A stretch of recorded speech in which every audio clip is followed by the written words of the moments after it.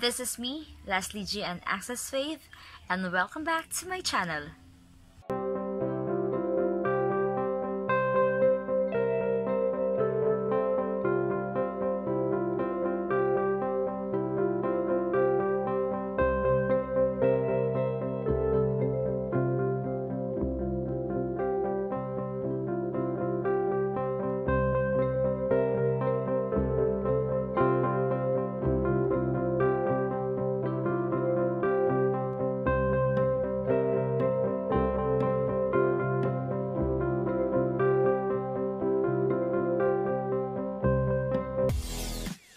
So, yung pag-uusapan natin ngayon is being asked by, I don't know if he or she is my subscriber, pero eto po siya nag-comment.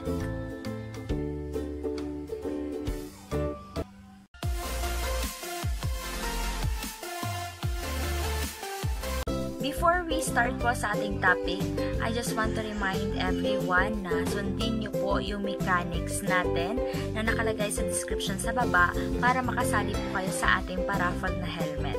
Um, magsisimula po yung paraffle natin um, on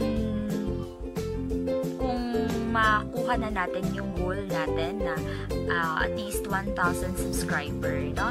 At uh, kung meron na tayong 1,000 subscriber, that's the time po na magpaparaffle na po ako. Magla-live po either sa FB or sa dito sa YouTube. Para naman po sa gustong sumali, gawin niyo lang po yung mechanics na nakalagay po sa baba.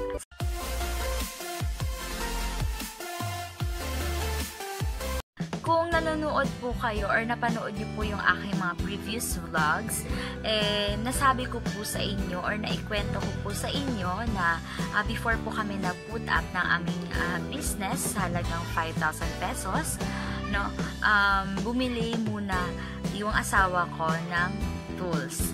So, um, yung 5,000 pesos po is uh, in-explain ko din po no yung 5,000 pesos po eh um, ano lang po siya items lang po yon yung ano po, yung mga tools hindi po kasali doon. So, kasi before lang po siya, before po siya, um, nag, before kami nag-put up nga ng business, eh, bumili na kami ng tools, no? So, etong mga sasabihin ko na mga tools, no, ito yung pinaka-importante na dapat nasa inyong shop or na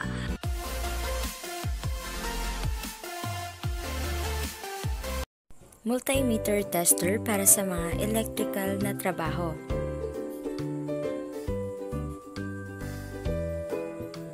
T-wrench.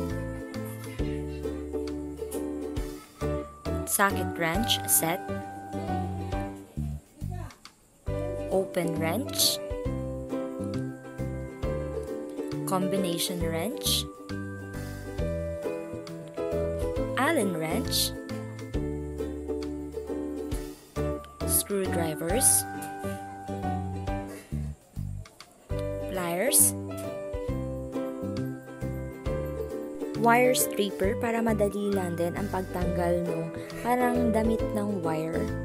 So, hindi na siya hassle chain cutter para madali lang din po ang pag-cut ng chain at hindi na kailangan martilyuhin pa.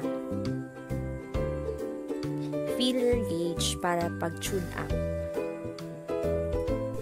Impact wrench para sa mahirap tanggalin na bolt. Ito yung ginagamitan ng martilyo. Meron din ginagamitan ng compressor. Ito yon. So, mas better na ito yung gamitin natin kasi si customer, eh, ayaw niyang, um, meron kasing ibang customer na ayaw nila na um, ginagamitan ng martilyo yung kanilang um, makina ng motor. Flywheel puller gamit para sa pag-overhaul. Air compressor. Ito yung gamit na gamit talaga sa magiging shop ninyo. Air gauge para sa mga gustong magpahangin ng kanilang tires.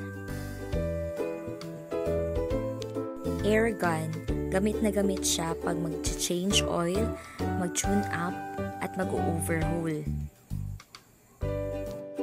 Air gun tacker gamit para mag-install ng seat cover.